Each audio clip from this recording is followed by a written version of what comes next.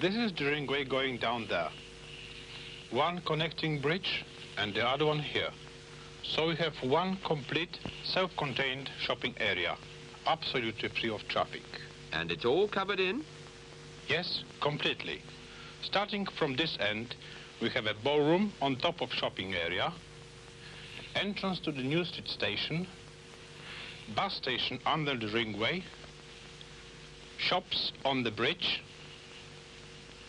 office block, multi-story car park with entrances from the ringway here and here, main shopping area with retail market, Woolworth, supermarket and shops on the bridge. We have two open air markets, one here and one there. This is St. Martin's Church and the old site of the Bullring. Well, how about that? Fine. I think I've got the general idea. Well, I'll let you carry on then.